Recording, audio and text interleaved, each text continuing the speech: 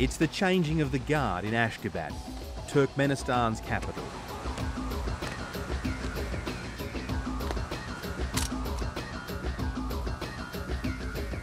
Looming large over the soldiers is the towering figure of Turkmenbashi, the self-styled great leader of all Turkmen.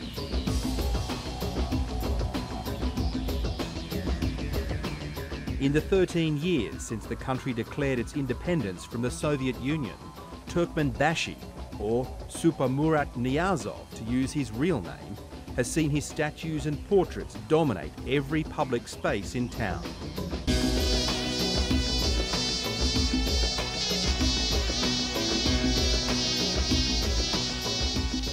They make one thing clear.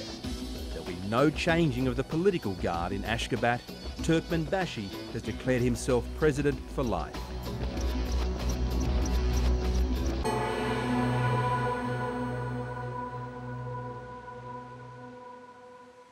Ashgabat. It's Arabic, it means the city of love. But here in Turkmenistan, what it really means is an all-powerful president who's in love not so much with his country or his people, but himself. For the great Turkmenbashi has built a one-party state based on a bizarre cult of personality. In public, ordinary Turkmens will proclaim their devotion to their leader, but their affection is contrived, motivated by a climate of fear and intimidation. Celebration is the key to their survival, but that makes ordinary Turkmens mere bit players in a perverse presidential pantomime.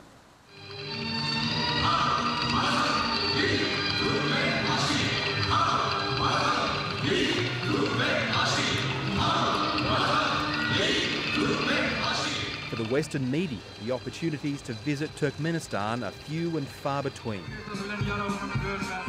And those of us granted the dubious privilege are subjected to an endless stream of propaganda.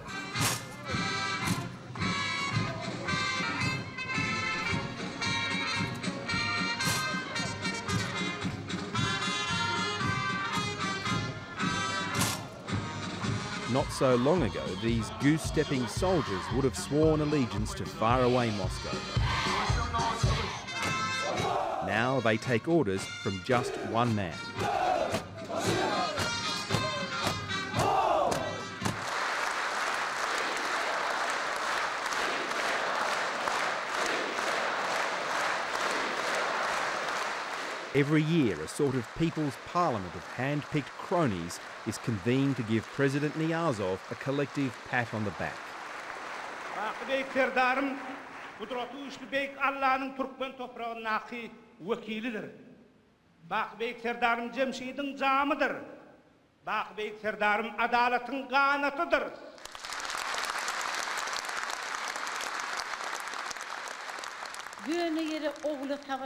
Speakers compete to see who can lavish the most praise upon the president.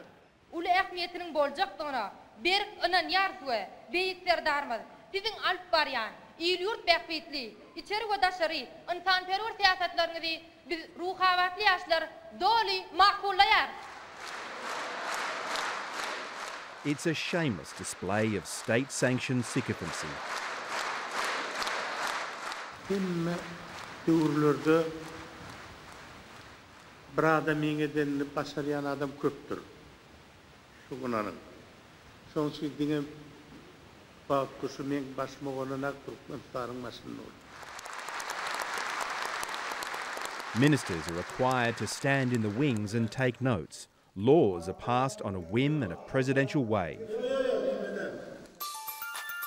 Turkmenistan television dedicates itself to pumping out pictures of the president and political propaganda.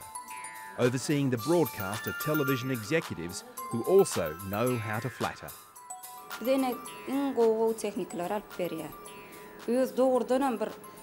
Däpde surlaryň taryhy bilýän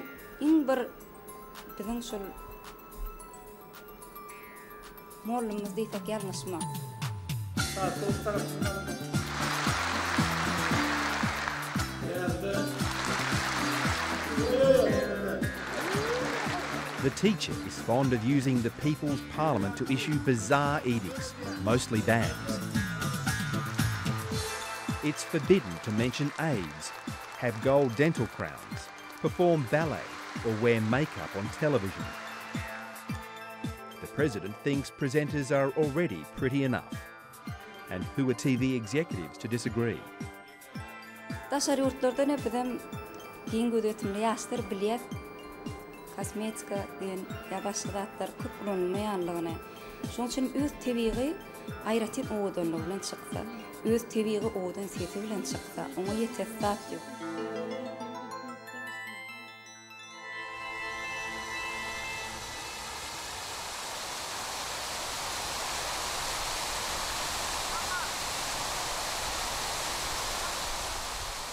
During our visit, we have constant companions a burly government minder and a tour guide to show us around.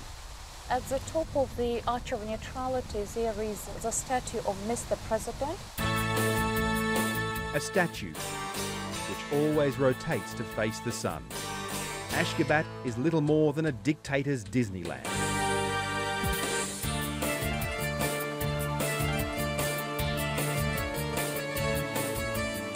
What makes this city all the more surreal is the fact that so few people actually live in it.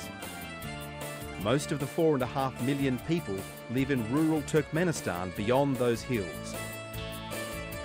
But it's a select few who have the president's permission to be seen and heard.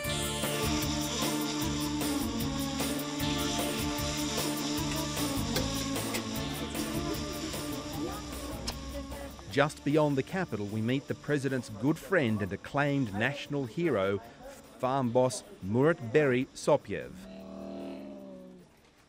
Все туркмени. Его уважает, любит. Вот. И Дошел э, глубокое доверие нашего народа. И его уважает, э, любит. Э, Поэтому э, он всегда народом. Народ видит, что для народа работает день и ночь.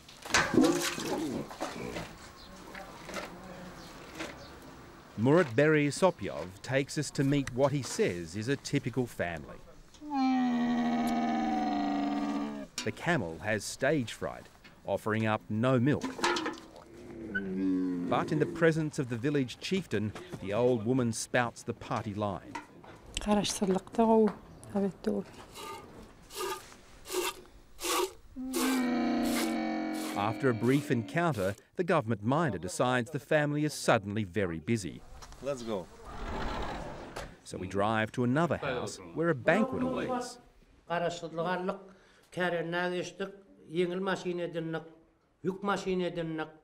The head of the house, yet another enthusiastic supporter of President Niyazov.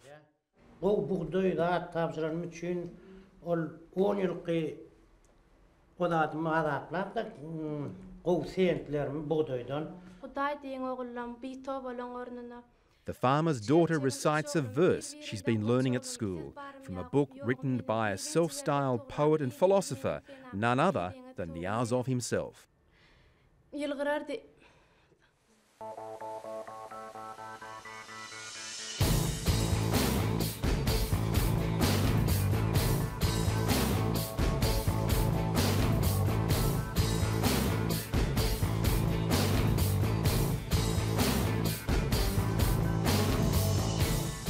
It goes by the name Ruhnama. A giant version ceremonially opens every night in Ashgabat. In this supposedly secular Muslim nation, it is the new Quran, Niyazov's spiritual guide for the people. In schools, it's taught almost as theology. Children are expected to learn passages. So does anyone who wants to get a driver's license.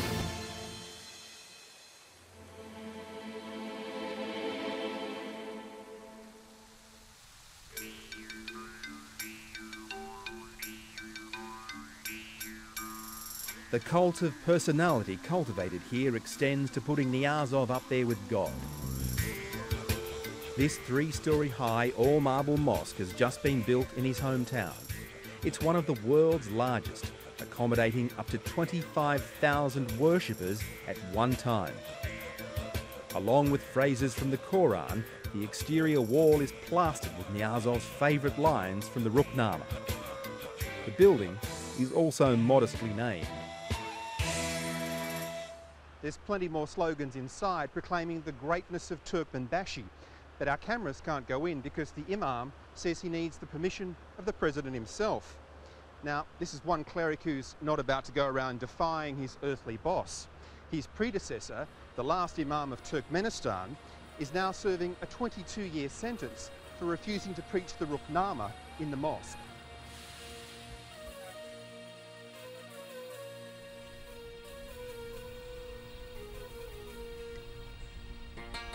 Niyazov has put his design inspiration on many other buildings around Ashgabat, like the magnificent edifice that is the National Museum.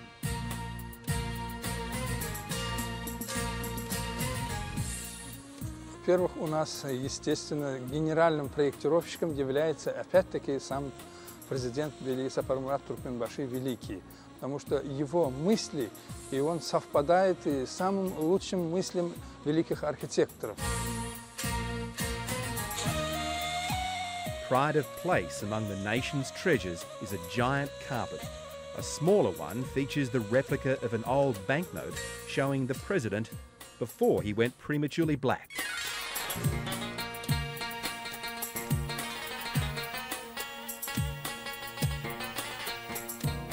While Niyazov's busy rewriting his country's history, this is all that's left of Old Nissa, one of the capitals of the Parthian kings from the 3rd century BC.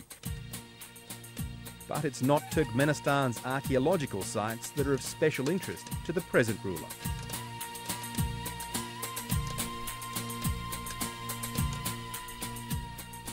For President Niyazov, what really matters is beneath Turkmenistan's deserts, its vast reserves of oil and natural gas worth tens of billions of dollars, and all of it under the president's personal control. Very little of this wealth trickles down to ordinary Turk men and women, most of whom live in poverty and without jobs. The country is regarded as having one of the lowest life expectancy rates here in the region. Of course, these kinds of people are largely invisible to outsiders, to tourists and foreign media alike. Government minders restrict most visitors to the Orwellian splendours of Ashgabat, and besides, even if people did want to complain, the chances are they wouldn't for fear of retribution. He is brutal and violent. He's a leader who has used a whole range of methods against political opponents. Sometimes he's been happy to force them into exile. Uh, sometimes he's used long terms of imprisonment. Uh, sometimes he's used uh, even more severe methods. David Lewis can be critical of President Niyazov, but from a distance. Today he's in London. Until recently, he was the Central Asia Director of the International Crisis Group, an institute for political analysis. He's clearly a largely paranoid leader. He's uh, has very strange sort of behavioral patterns. Um, he's very dictatorial in his style, in behavior, uh, and very untrusting of anybody around him.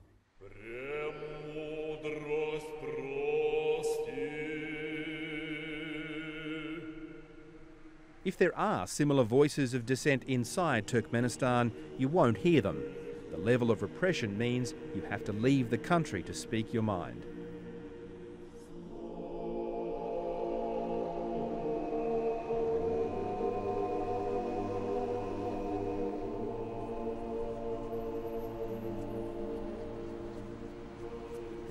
After the Soviet collapse, Avdy Kuliev was the first foreign minister of independent Turkmenistan.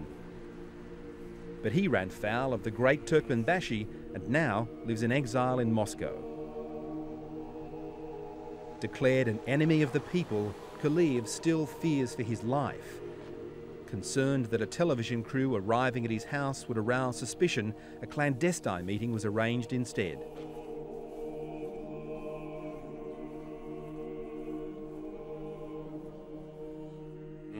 Участники э, так называемой э, так называемого покушения 2002 года, э, министры, замминистры, ну, много людей, которые известных людей, бизнесмены, всех их подвергают, конечно, пыткам, жестоким пыткам. Я считаю, что лучше получить, наверное, смертную казнь, чем сидеть в туркменской тюрьме.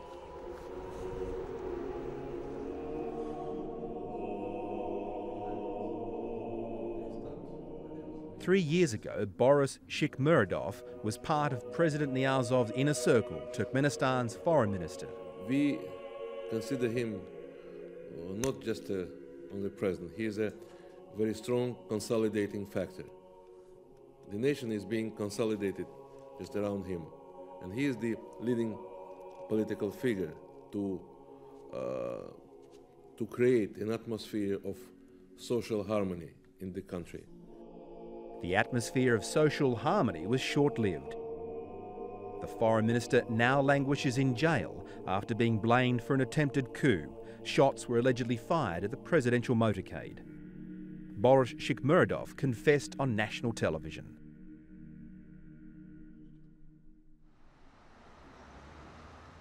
The trial of Boris Shikmuradov was a farce, essentially. There was no due process involved, there was no defence allowed for Shikmuradov. The use of torture is widespread. Uh, former uh, inmates in the jails have given a lot of evidence about this, and there's plenty of evidence to suggest that Shikmuradov was also uh, subject to torture while he was in prison, and we suspect that the confession uh, was a result of that. But this time, I think because the race has been so close, there's been a lot of advertising. The United States maintains diplomatic relations with Turkmenistan while professing deep concern with human rights abuses in the country. We're also concerned about access to prisons. Uh, the International Committee of the Red Cross has cooperative relations with all four of the other governments of Central Asia and prison access in those countries. In Turkmenistan, no one so far has had access to the prisons.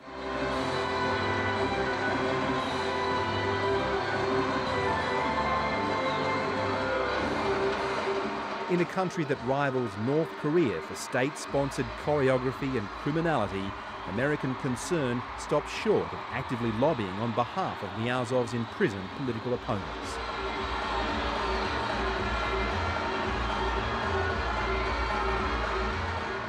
We don't define people who were convicted in a coup attempt as a political prisoner because, in fact, a, a violent overthrow of a regime is illegal in any society. Iraq is obviously an exception to that rule, and for all the American rhetoric of spreading democracy around the world, in Turkmenistan, access to resources, riches, and strategic influence dominate US policy. Certainly, we're very interested in gas and oil here.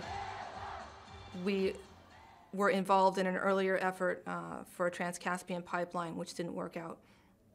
Uh, we're, we're, very interested in, in following the economic development of the whole region and playing a positive role when we can. For all the pain and suffering Yazov has inflicted upon thousands of Turkmen families, he shamelessly exploits his own. This statue in Ashgabat is dedicated to his mother, who was killed along with 100,000 others when the city was devastated by an earthquake back in 1948.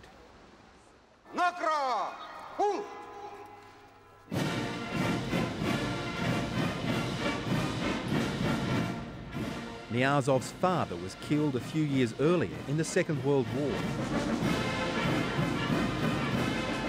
Just last month, Niyazov was in Moscow meeting with Russian President Putin and other world leaders at the 60th anniversary of the Allies' victory over the Nazis. The one-time Soviet Communist Party chief is exploiting the end of the Cold War by retaining strong links with Russia and now currying favour with the United States. We believe that a prosperous and more democratic Central Asia is not only in the interests of the Central Asians themselves, but in the interest of the United States.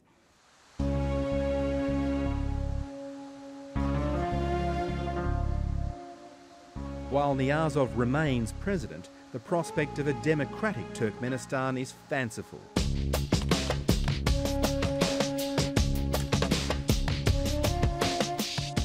Turkmen teenagers and children are the victims of Niyazov's paranoia and propaganda. He is the only leader they know. The Turkmenbashi cult is founded on the sympathetic story of an orphan boy. Вдохновление. Дети гордятся этим, что вот э, за ними президент стоит. И вот он приходил, поздравлял детей.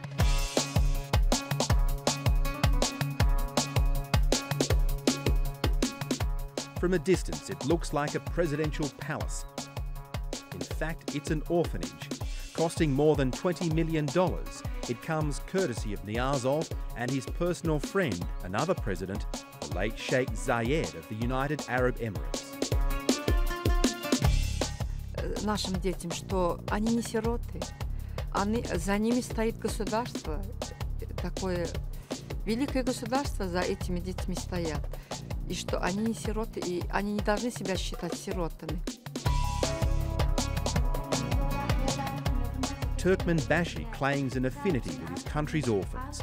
There are more than 300 here, and when it comes to education, they are the fortunate ones.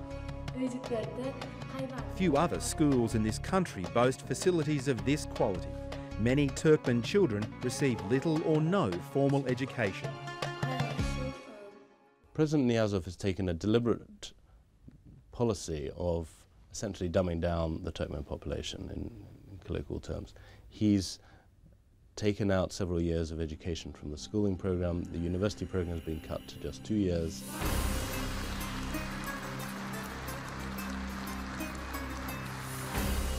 Almost every year, the phony People's Parliament ends with the man who's already declared himself president for life announcing that the time has come to find a successor. It is a test of loyalty his ministerial acolytes pass with flying colours by furiously denouncing such an idea as unthinkable.